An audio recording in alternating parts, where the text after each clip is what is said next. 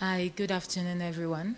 Um, thank you so much for joining and thank you for being patient with us. Um, we are going to start shortly, or we are about to start now. Um, I do would like to um, officially welcome you to this session on data protection, um, especially um, on the role of data agencies and what the policy regulations around that. And we are so um, also holding that from the youth perspective. And so um, we do hope um, for a lot of input and um, a lot of contributions in those areas. We try as much as possible to make it engaging. And um, of course, the speakers would make submissions shortly, but we want a global input from um, the audiences here. And we, we all know really that the, the issue of um, data protection is high. Um, we've recorded a lot of um, data surveillance issues happening. And so um, I must say that this um, topic is, is handy and um, seeing it from the youth perspective is also one of the great things to have. Now um, we are we have two such um, we have two speakers sorry joining online and we have three wonderful speakers here. Um, i'm just going to let them introduce themselves shortly and then we'll move on to that. So um, i'm just going to start right by my side. Um, give the microphone to kyla to introduce herself Thank you so much. My name is Carla. I am environmental and sanitary engineer. I am also a co-founder and the director of sustainability and projects in Amazonian Youth Cooperation for Sustainable Development. Also, I am a youth ambassador by the UN, and uh, this is me. so I pass to Shelby to present herself. Hi, I greet everyone here and welcome to the section. My name is Selby Abraham, popularly known as Fifi Mensa Selby. I'm a digital analyst, IT profession for 10 years. I do um, love volunteering. I do love privacy policy. I've worked with Ghana Data Protection Commission for a year. I do data protection awareness. I do data protection impact assessment. I help organization in privacy issue. I'm also a media speaker on data privacy and digital awareness. I am under IS3C, under Dynamic Coalition, under the IGF.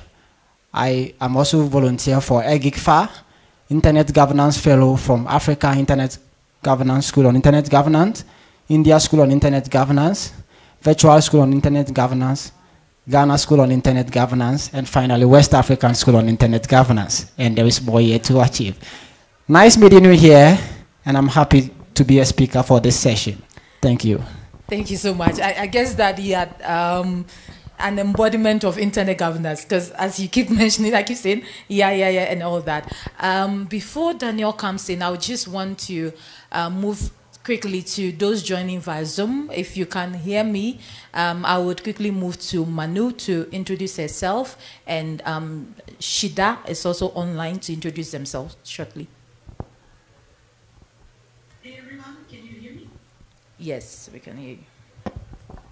Okay, uh, it's great to be here, even though I'm online. My name is Manu Ribeiro. I'm a project manager at this Brazilian NGO called SaferNet Brazil.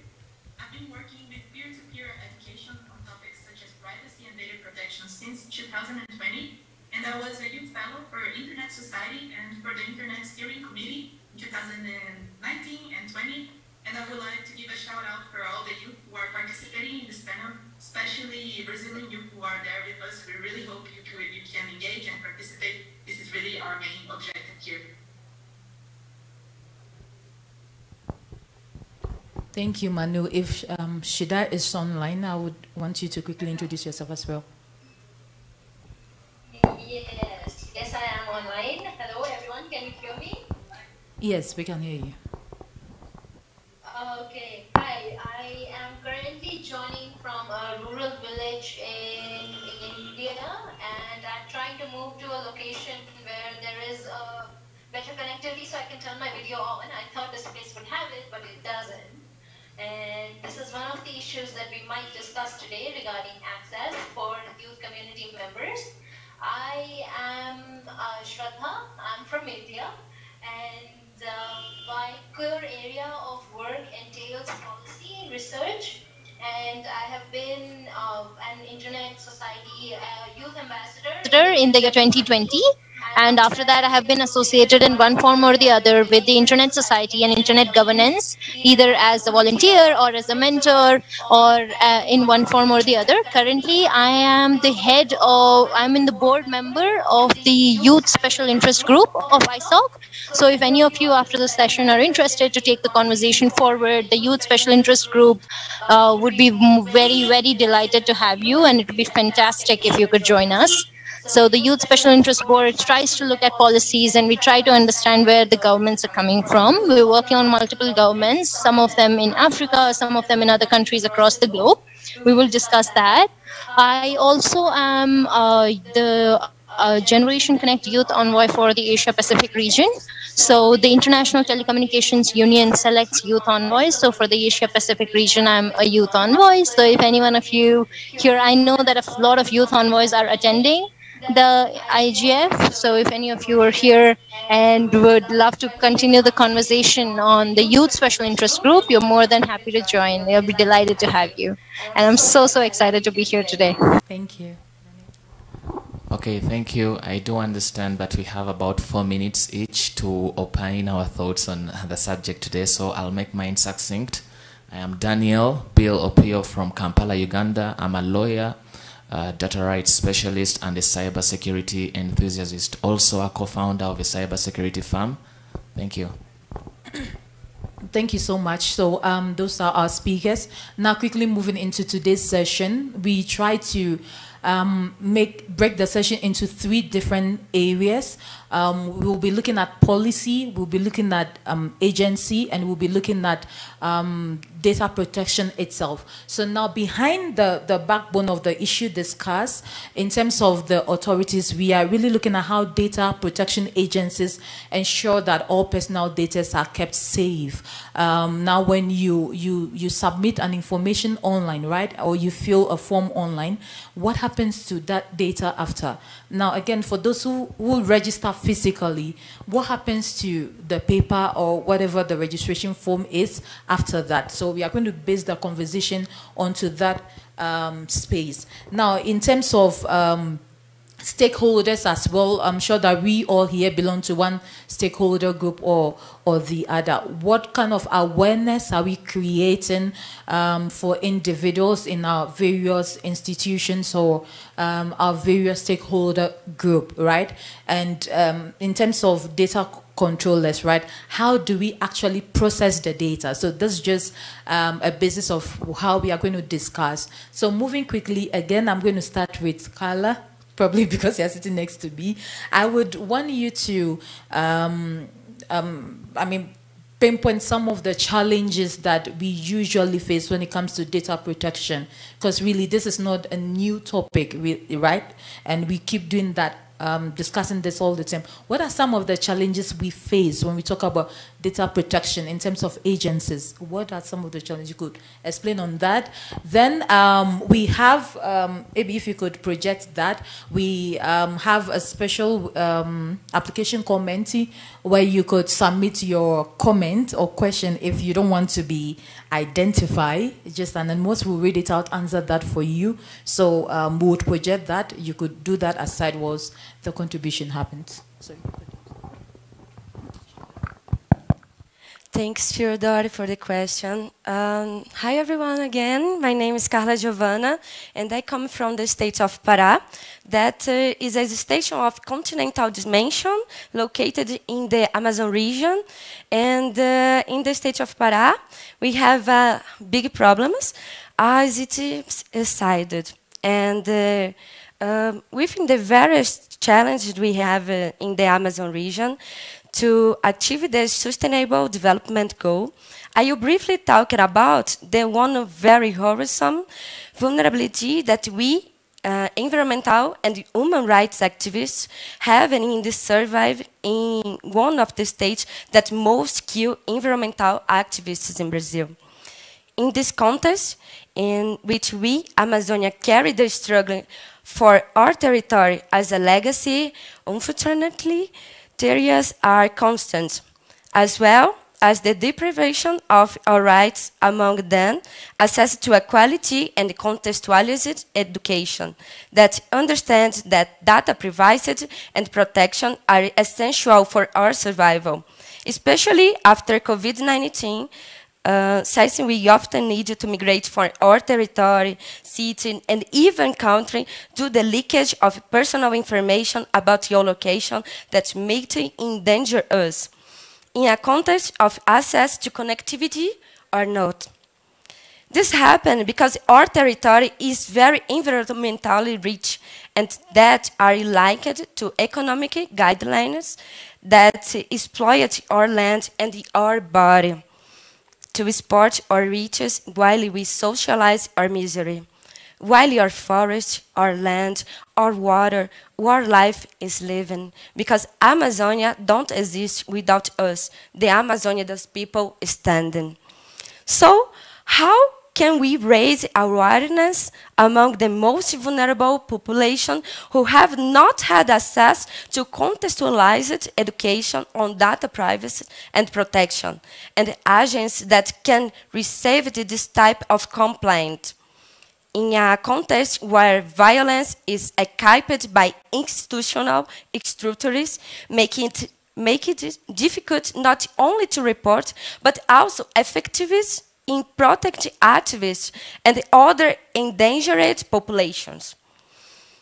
This was a concern that we, from the Amazonian Youth Cooperation for Sustainable Development, or just COJOVEM, had especially during the 2022 elections and during the period of Bolsonaro violent government, where he had several data on health, education, deforestation, erased or leaked having been a genocidal government for the Amazonian people in front of struggle, building a context of violence that reinforced the non-guarantee and non-access to our right.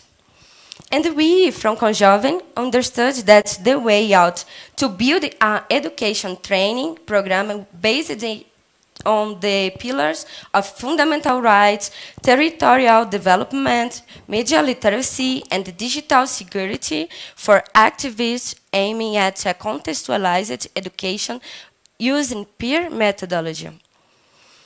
Or and was to guarantee the exercise of citizenship of this youth by taking security measures that ranged from avoiding sharing their location in real time or not, to the formation of a support network for young activists from the state of Pará. The network enables to us to echo and carry out our denouncement. It's not at the state level, but at the international level, main change in the systems that sentence us to death Sadly, we still have a lot of change to face in the Amazonian territory, especially within communities who live in the environmentally rich territories, because the most of the case of activism deaths happens in this place.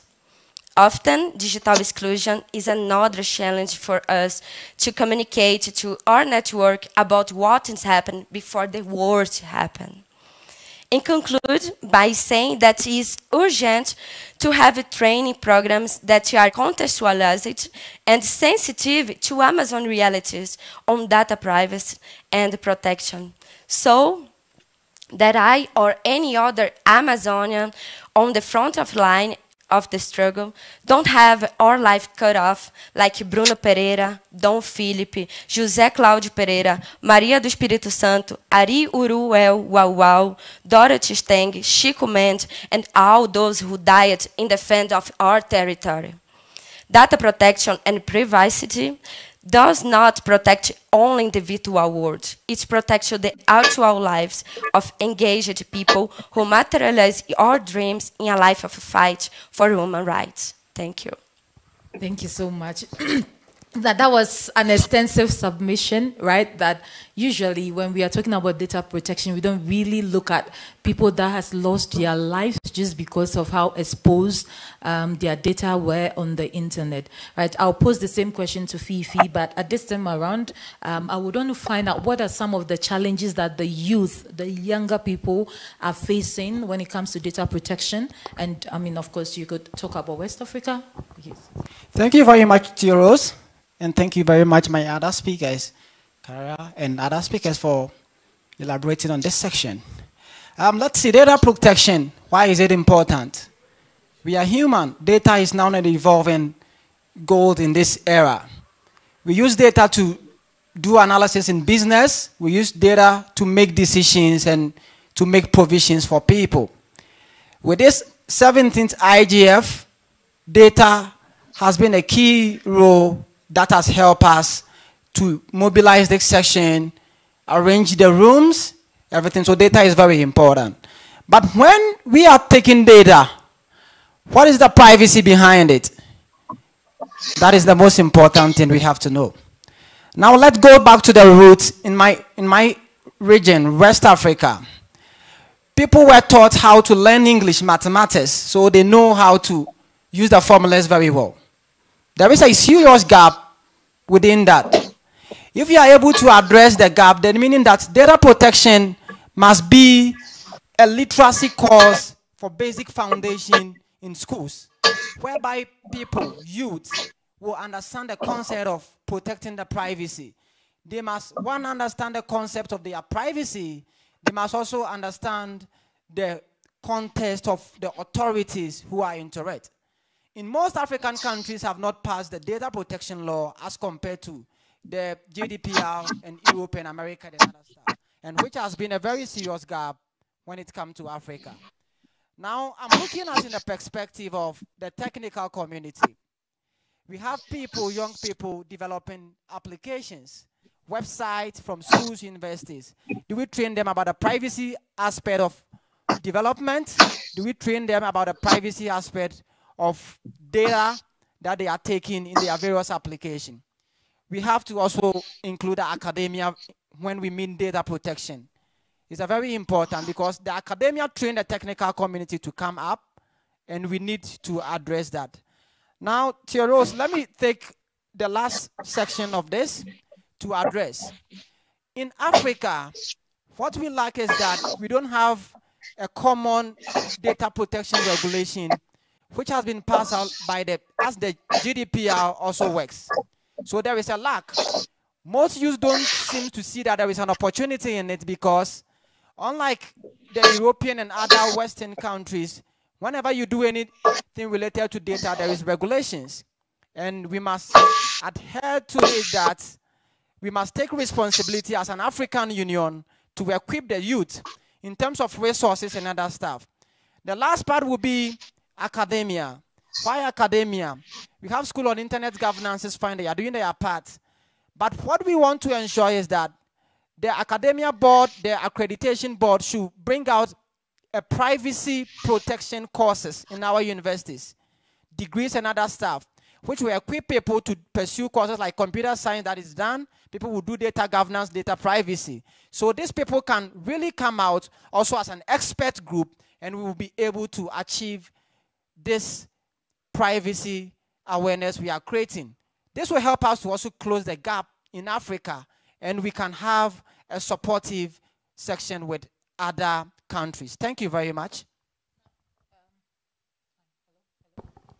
Hello? Great. This works. So in, in the same line with um, just your last submission, I would want to move online to Manu to talk um, about language that is used. Um, now, when you read most um, agreements, right? For example, if you're going to open a social media platform, there's always this. Do you agree? Do you and, and all that? Now, how many of you really understand what those things are? Do you really understand? Now, you know that when you're going to open a Facebook page without saying I agree, you don't have a Facebook account, right? And you want to be on Facebook. So what do you do? Usually, I don't want to talk to everyone, but I will just click I agree because I really need to be on that platform. So I'm moving that to Manu, and that's um, a great comment on Menti from um, someone um, who wanted to know um, how the, the language in terms of privacy agreement is made simple, and the person is specifically um, want you to give an explanation the issue of um, Trinidad and Tobago and all those issues that come around that. So if you can hear me, you could take your flow on that. Thank you. Just to understand, can you guys hear me? Yes, we can hear you. Great. Thank you for the comments on Menti. We have here someone from Trinidad and Tobago who said that language is very difficult to understand, just like Heroes said. And we have also someone saying that there's an issue for under understanding where not everyone fully understands how big tech companies share or store their data. So let's talk a little bit about this. I have two main points that I think are important. One, I think I will complement Carla's speech about the importance of contextualized education, especially in SaferNet, we believe in peer-to-peer education as an awareness strategy. But I will also complement that only education is not enough. We have to have a compromise because uh, we can't depend on the burden for the individual to be the only person responsible for the exercise of something that is a fundamental right, which is data privacy and data protection. We can't just burden the individual so that they have to take all the control of their accounts, their checklists, their information.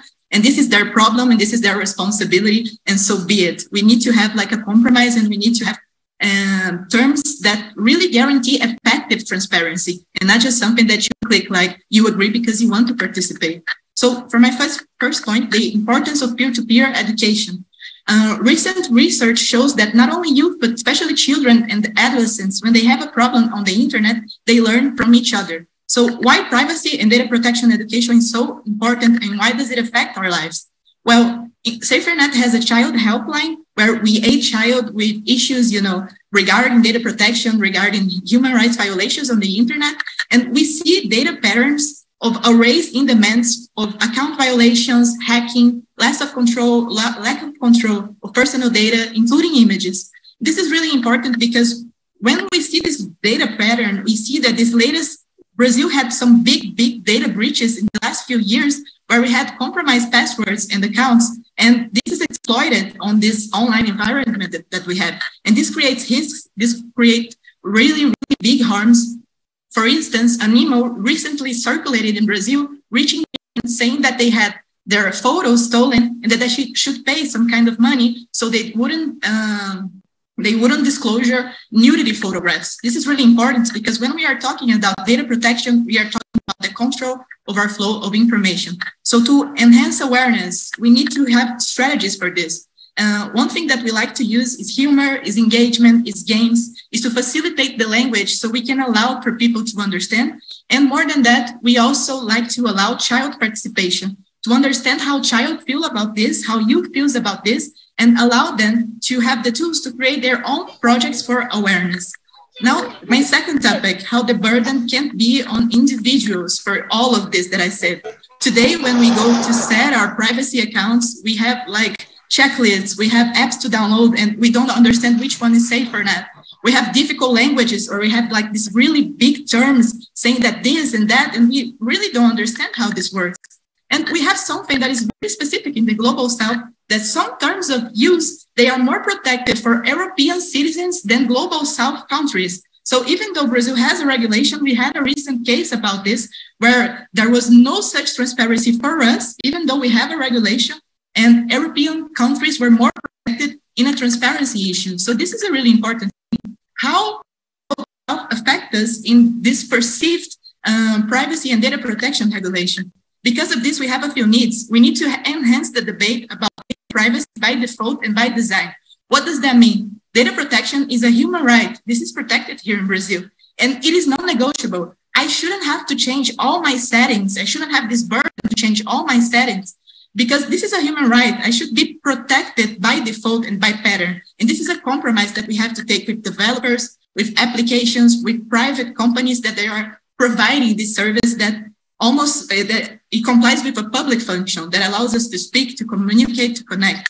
We need to give more actual control and actual tra transparency, like understand exactly what is happening in a friendly language. And we need to have control of our settings. And more than that, how can we engage more youth in debate. We should be part of the design of tech, of the decisions about tech. We need to think about enhancing civic participation of these decisions because if, technolo- if technologies are affecting our lives now, they will affect more lives of youth in the future. So we really need to think, I think, about youth councils, consultations, and research that consider context, that consider difference in access.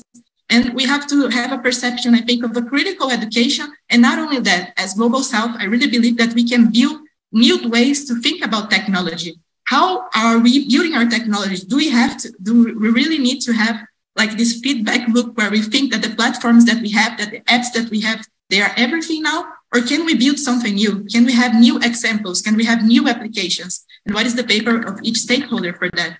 So those are a few considerations that I would like to, to give. Thank you.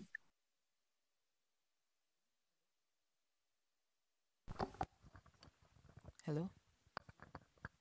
Yes, so um, back to the room, I would quickly want to move to Daniel. Um, now we have, um, again, issues of infrastructure and um, infrastructure in terms of data privacy education. There are a lot of challenges in that. I think that AB has thrown some light on that. But could you give us a more youth perspective on that, especially in the global south? What are some of the challenges that we face in terms of data privacy education, um, I mean, in those areas? Okay, thank you so much, Theoros and the preceding panelists. I would firstly love to say that about a, a, one, a one third of the internet users population in the world is below the age of 18.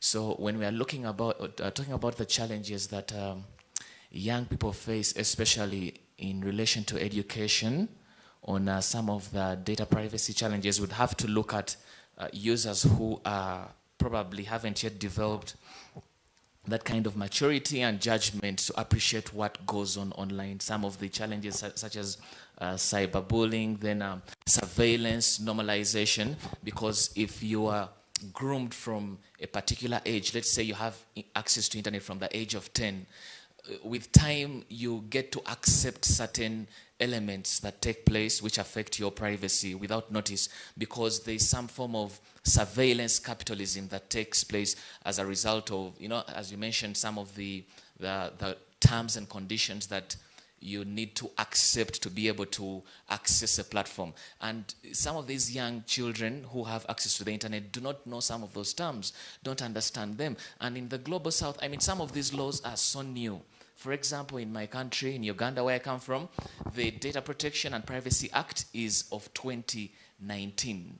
So even if we're not looking at the young people and we are looking at those that are older, they also don't understand properly the element of data protection and privacy. So how will the young ones be able to, to understand that? I, I believe the, the, the, first element of um, the element of education should, the burden of education actually, in my opinion, should be with the developers of some of the platforms that draw the attention of, of the young people. Uh, Emmanuel has mentioned something about privacy by design, but I think the awareness can take place on some of those platforms. If a young child is going to join a, a particular platform, there must be consent from an adult to help educate them on where they should go, what are the boundaries of, of what they are doing to avoid them coming across uh, elements such as inappropriate, you know, age content. Uh, some children get addicted to pornography simply because they did not know what to indulge with and what not to indulge with. So I think the element of, of education and literacy, governments actually have to, you know, put a lot of effort and probably start with uh, primary education, secondary education, even at universities, have some form of training that takes place to let uh, young people know how to conduct themselves online. Thank you so much. And um, I would move on to our last submissions and then we would open the floor for questions and inputs and contributions. Now, I'm moving straight forward to Shida with online. Um, and I would just want to pose the questions, um, right? So, want to know what are some of the opportunities um, that are open for youth um, to flaunt the the agenda of data protection in their um, in, in their areas or stakeholder group. Shida, if you can hear me. Yes, thank you so much, Theoros. I hope you can hear me too. Yes, we can. Okay, amazing. That's a very important and a very relevant question for the youth community of our age. And the problems and the important insights that the speakers, Manuela, Danielle, everyone, all of them have highlighted are very relevant. So, the few opportunities that I would like to discuss are the opportunities in the field of policy policy decisions and policy making that the youth can and should influence. Because right now, what we are seeing is a trend of very old people deciding the future of very young people. So there is an intergenerational disconnect, which we need to make sure is turning into a dialogue between intergenerations and they're taking our insights. How do we do that? There are ways you can indulge that at your local level. So the everything, every grassroots movement starts from your own backyard and the starting of each and every such moment should happen within your local levels. Try to see what the policies are within your governments. So usually what the uh, global south is seeing a trend in terms of more and more regulation in the past years. What we are seeing is that since 2019 the governments in the global south are moving more towards regulation and less towards uh, online autonomy which is slightly problematic. And the way we can influence that is to keep a very keen eye and be aware of what rules and regulations your governments are bringing in and how they will potentially impact your freedom and your expression, your privacy in the cyberspace. Because privacy is a human right and a fundamental right in almost all the global south countries.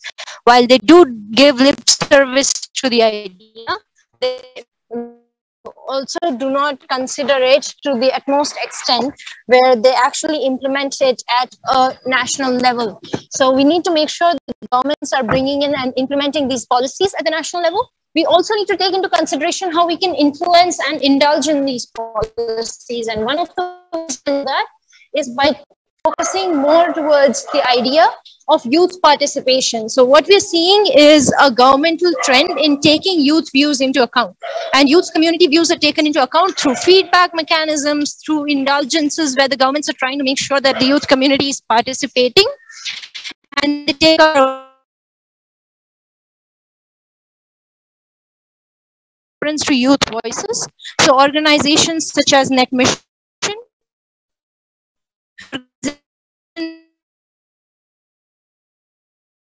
Can you hear me?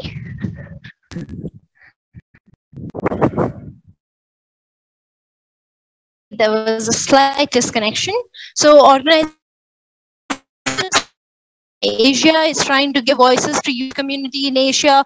The youth special interest group is trying to do policy analysis. The youth chosen a year, and I'm sure this year's ambassador are doing some brilliant work. So all of these are activities and avenues where you can indulge try to connect with all these people.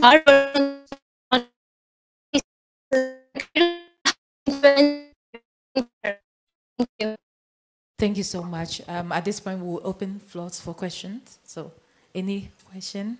Yes, thank you. Uh,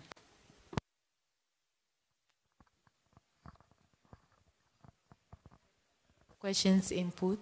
Just Hi. Um, firstly, um, thank you very much uh, for the amazing panel. Um, so uh, my question is about what you think the tech companies should do when it comes to such matters, because what we see is that politicians um, politicians are quite slow when it comes to catching up with technology. Um, they don't sometimes really understand the mechanism that work behind. And um, I come from Turkey's Internet Observatory, and what we do in our work is that we try to kind of show that actually the changes about privacy and child safety, they can all happen through product changes. So just even if we think about um, the terms and conditions, they're so small, right? It could be different. So I, am really curious about your opinion about what you think the big tech should do and how we can hold them accountable in these matters. Thank you so much again. Um, so he, she, okay, do you want to? Oh, okay, so we can take two and then we would answer that. Yeah. Okay, hi, I have kind of like three questions. So my first question is, is there an African youth institution or something, just an institution that's formed to create, since this is a youth policy focused conversation, that focuses on creating policies from the ground up rather than adopting policies based on the global state that's solely focused on building policies for the, from the ground up. And then two, on the implementation aspect, since it's a, it's um, what's it called, uh, something which comes up in all these conversations that you have uh, about policies because we can come up with good policies and all that but at the end of the day it's the implementation which matters. So is also there an institution which is focused on policy auditing a youth one co considering like i said the perspective that we are focusing this on that's solely focused on auditing policies and then my last question um, is Sorry, you have to answer and then I'll, I'll say it again because it's, uh, it's, um, yeah, it's yeah. Okay, but so two questions. Okay. Um, um, yes, we'll take the last one. We have a hand raised up online as well. Um, okay, so we'll take it in badges so that um, the speakers would not really forget the questions right after. So after you, and then we move on. Okay, okay. So good afternoon. Congrats for this relevant panel, really relevant. I'm Maria, and I am here representing Alana Institute, which is a nonprofit Brazilian civil society organization whose mission is to honor children. Uh, part of our work is related to the digital rights of the children and adolescents, uh, especially related to commercial exploitation of their vulnerabilities. I'd like to hear from you a little bit more on this relation between uh, data privacy and practices like targeted advertisement and so on, uh, especially on the global south. We are specific here. So uh, to, to, children, especially, who are especially vulnerable. So what are, uh, for you, the roles of each part of, of this digital ecosystem in this issue? Thank you. Okay, so uh, I'm going to go over the three questions shortly, and then I'll throw it to our speakers, any of them that are ready. If I quite remember, the first one is on the role of um, big tech companies, what exactly they are going to do in terms of data protection, how they can um, keep the data safe, right, and how they can educate more people on that, right? Then the second one is on the data protection policy, right? If I get it, yeah. okay, can you help me? Data protection policy. like an agency. Mm -hmm. Okay.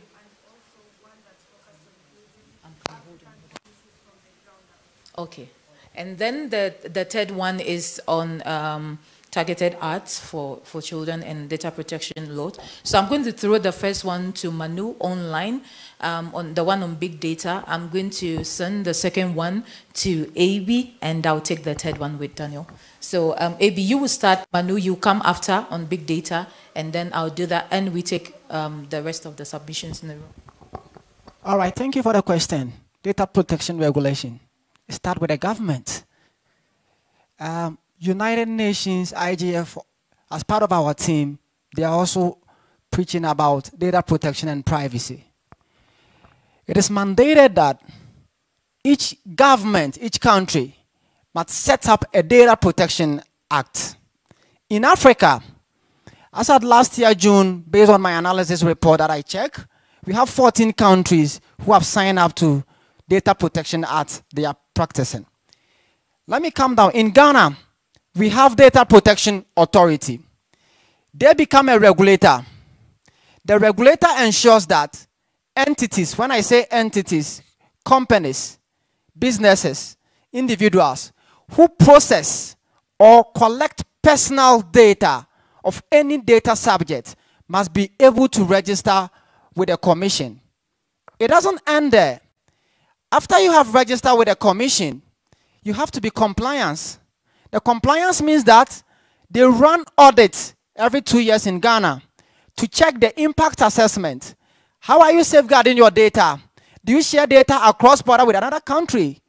Do you seek consent before you share people's data? What are the third parties do you share data with? So there's a lot of compliance. If you fail, when you breach, you define in the law or the key stakeholders. It doesn't take it just like that. When you are registering for the data protection registration in my country, Ghana, you must provide key people. If there is any irregularities or failure to comply with the laws and regulations, the key decision makers will be held accountable. But this is the gap because we are talking about a gap. Some countries have it. The gap in Africa is that African Union need to champion one data protection regulation that can cover every country so that we have a state institutions who are going to regulate the company businesses. So if I have a business in Rwanda, in Ethiopia, and in Ghana, we have one cross data protection regulations that can be used to regulate us. And this happens on GDPR. If I'm in um, Belgium, Germany, GDPR is a regulations that covers that. So the gap is that all the government institutions must come together, work together with the United Nations, work together with the African Union and other stakeholders to formulate this process. If you are able to do that, we'll close the gap and the compliance, that is the auditing section, will be effective. Thank you very much. I hope I've answered your question. Okay, thank you so much. So quickly move to Manu to answer the first question, the role of big data, shortly. Thank you. I think this question also approach uh, a big challenge that we have that is also artificial intelligence regulation. We are going through this right now in Brazil and in a lot of other countries. And like they said about data protection, this also creates an opportunity for us to think about what are the questions that we want to pose as the global south? Because today we know that companies they work a lot in a maximize shareholder profit logic. So how can we have policies and how can we have like strong civic engagement to create some kind of pressure and see the community as a stakeholder that allows for for pressure for us to think a little better about this use massive use of data I will be really short in this response because it's a complicated topic. And also we have four hands raised online. So I'd really like for people to contribute. If you are if you are asking a question, but you want to answer a question, you are allowed to. So this is just a few considerations. Right, thank you. So um, before we move online, just shortly, I'll let Daniel answer the last um, set of questions in the room on um, data privacy and children and arts. So Okay, thank you. That's quite a tough question. so I was hoping if there is someone in the room that has thoughts to share later on, on that could also jump in. But behavioral advertising or profiling uh, the nature of exchange of children and young people online is not any different from what happens with those that are above uh, the age of, of young people. Usually, you, have seen things that have come up on, for example, Facebook for businesses, you know, Instagram business account, and and all that. I think there has to be some form of conversation on on, on moderation, how how we can you know moderate the tech companies, the tech giants, and the businesses that are operating online, such that they do not serve that. Um, user profile of, of uh, children and young people that engage with their platforms. A case in point, uh, like there is DuckDuckGo, which only uses uh, special, you know, isolated words to enable uh, advertisement to go on online, and they don't profile anyone. They've declined to share that personal information of, of behavioral, you know, patterns of, of use of their clients with Facebook. The same thing with New York Times. They also declined to share that kind of uh, information with, uh, with, with Facebook. So I think if we can get more engagement on businesses and these tech giants, I think we can be able to achieve a certain uh, level of success.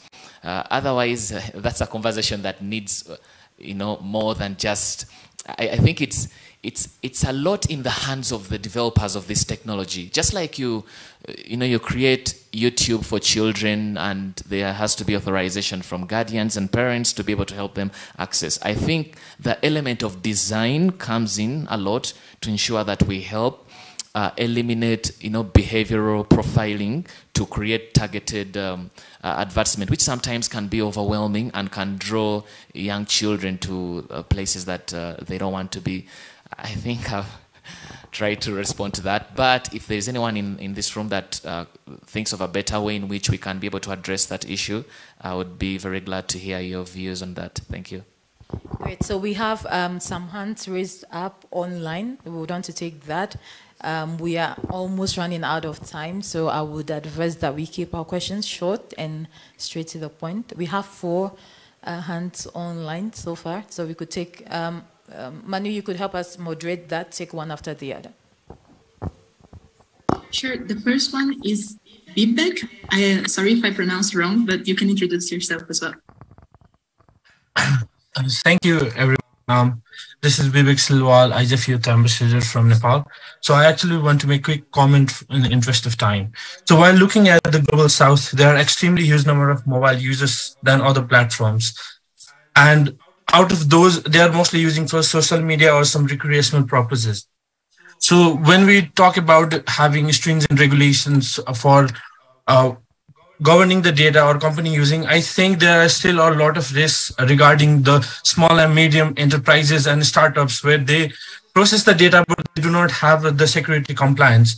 And the government regulations cannot actually overlook at all these aspects. So it comes at the due diligence of the company to look at this thing. So what I want to make the comment is that you should advocate for better practices on both end, the infrastructure and applications ends where small or startup companies, they should be complying with the policies, the local regulations as part of their due diligence and the other aspect is about the awareness. Yeah, that was my comment. Thank you. Thank you. Um, can we have the second person? The second one here is Chris. Chris, you have the floor. Okay, can you hear me? Yes, we can hear you. Oh, okay, uh, thank you very much. Uh, my name is Chris, um, and I talk uh, IGF Ambassador. Uh, it's great to see that we're having such conversations about uh, data privacy and its importance. Uh, data privacy has been inspiration uh, to where the data is actually based. For instance, uh, uh, in European regions, and uh, sometimes these regions do not have uh, lots of policies actually favor the African or some developing nations. So I'd just like to know how do you uh, collectively solve some of these kind of uh, challenges where, where we have been um, laws that do not really fit into, for instance, in my own, um, my own context, the African uh, region. Just like the panelists. Okay, um, can we take the third one and then we give all to Shida?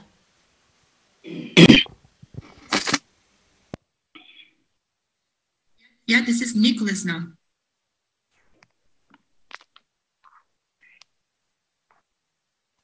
Good afternoon, everybody. Can you hear me? Yes, we can hear you. Okay. My name is Nicholas. I'm an ISOC ambassador, and congrats, guys, on the excellent panel. So, my contribution has to do with the asymmetric treatment by companies on data from the global south.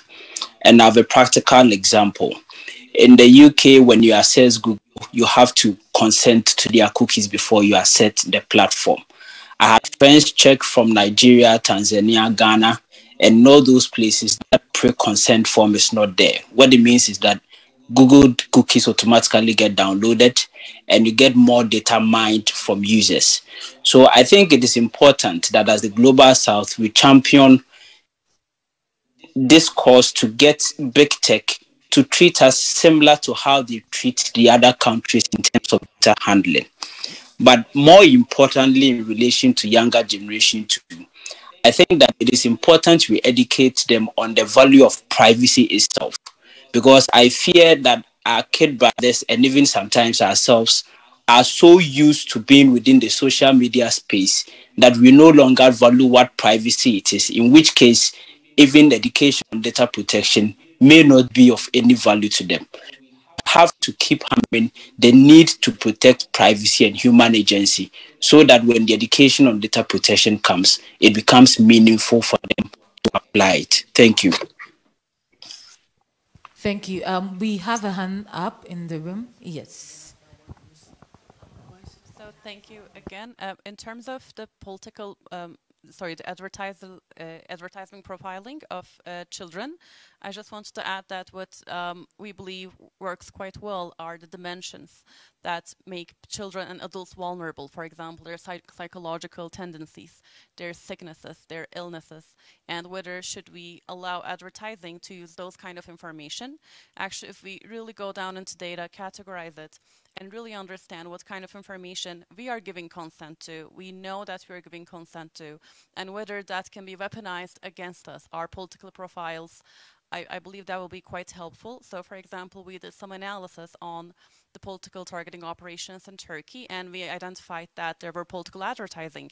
And when micro-targeting is used, for example, um, let's say you have a Turkish flag on your profile picture, Facebook knows that this might give some information about your political profile and further gives you ideas about what you can do.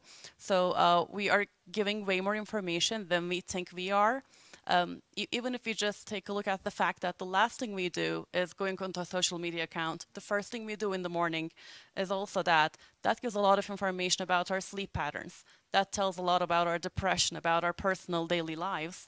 So, uh, so when we really understand the depth of the information that lies there, I believe that um, will help people like you, and thank you so much again for the panel, to um, really regulate what these companies should be doing and should not be doing. Thank you. Thank you. So um, we are going back online to pick um, um, our last submission online from Lucy. Thank you so much for your role. Thank you, panelists. My name is Lucy Maura. I'm one of the youth ambassadors. Thank you for the conversation. Um, my initiative is connected to this. And my submission is on, I want to assist on the question of children, on how to address um, protection of children. Um, one of the main things that we need to understand is that when it comes to protection of children, a higher threshold should be put, even nations which is missing a lot of data protection laws in Africa specifically.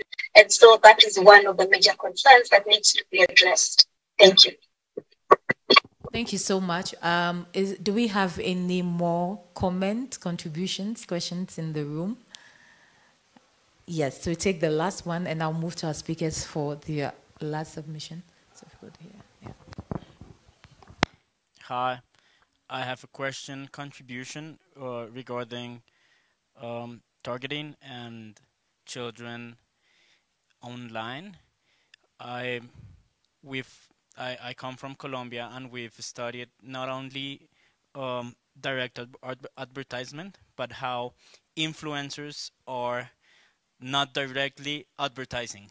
And I think this is a much more complex issue because you cannot understand this under the data protection regulation because it has it yes it does have relationship with data protection but not really because influencers get to the kids through other through other ways.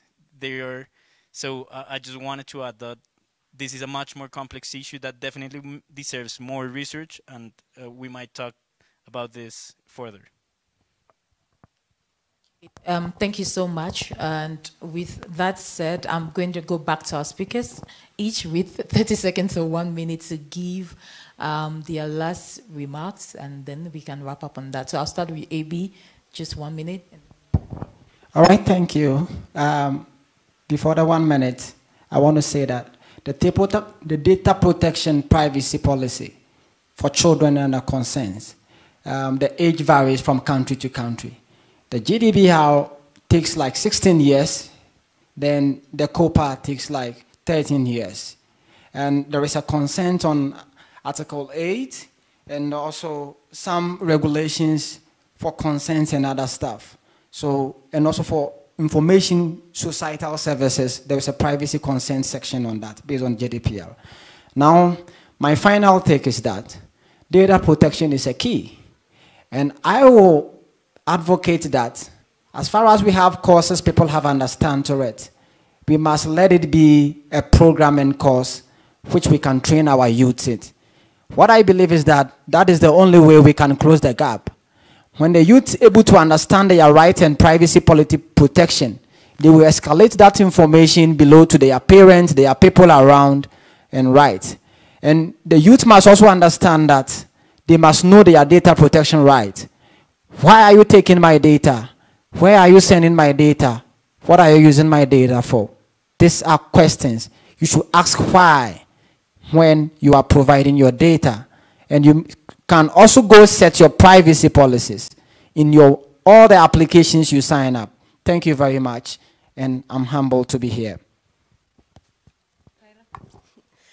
Hi everyone. I want to say thank you so much for this panel, and I believe that uh, we talk uh, very good about um, how the global south is really vulnerable when I think in data privacy, and uh, we have a lot of the study uh, to build a community that can integrate us in the way of construct the internet, because sometimes I think that the internet uh, is not made for us because don't include us in, in the way of uh, this platform and this spaces structurally. So uh, I think that through the international cooperation, we can create more spaces that can be uh. Uh, I don't know how to say this, this word in English. but we can create spaces that can hold more uh, plurality and can hold more people like me, like us, to build a resilient space to can reach the um, sustainable goals of the uh, sustainable goals of the of UN. and thank you so much for everyone. Sorry, I'm a little nervous. thank you so much. Yeah, Carla, you're doing just fine and well. Uh, thank you all for taking your time and for the indulgence. I hope to uh, maybe meet uh, the amazing uh, audience participants that were submitting about behavioral profiling. I would love to connect a bit more. I think we have a lot to talk about, both the two ladies and the gentleman at the back. Thank you. Great. Um, I'll move to Manu and to follow Bashida. I'd like to thank everyone who engaged because we wanted a lot of participation and we had it and I'm really happy for it. And I would lo- like to also call you guys, like, let's keep discussing this as you from the Global South. Let's research for the spaces that we have for this. Let's connect after this session. I think this is really important. And I'll close up with a comment by Gene. Uh, he made a few questions. We don't have time, but like he made a, a comment that I think the data protection education gap is only the tip of the iceberg. It is a major economic political issue. I think this is a really important question that we do not forget that there are economical interests that should be taken in consideration for any kind of policy regulation or global south perspective for these issues. So how do we see ourselves in this and how can we, you know, unite our fight to understand ourselves as global south fighting for better conditions and better technology that serves us. Thank you. Thank you. Um, Shida.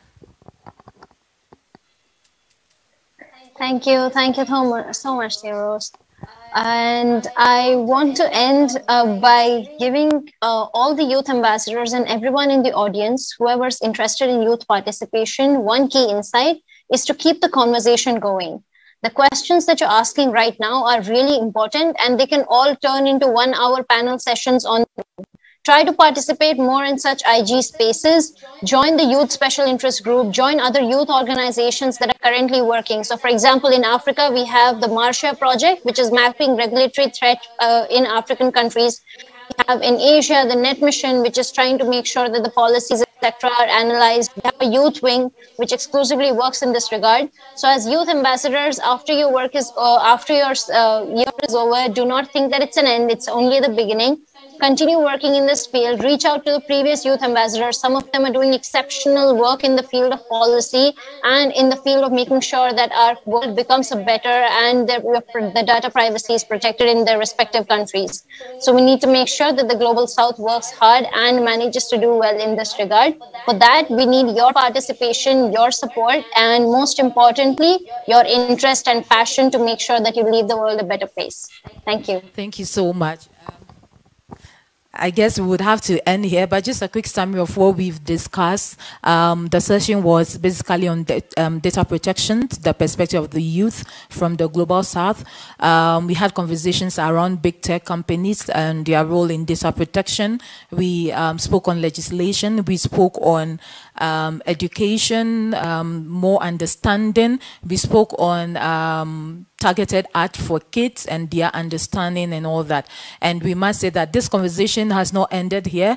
Let's continue with um, the conversation in our spaces. And for those of us here or online that have a greater role to play in making policies work or making policy inputs, either you belong to the civil society, government, or anywhere, do your little work in your corner. We are so grateful that you're here. Thank you for spending your time here. My name is Theoros, and do have a nice day, afternoon, wherever you are. Thank you, everybody. It was amazing.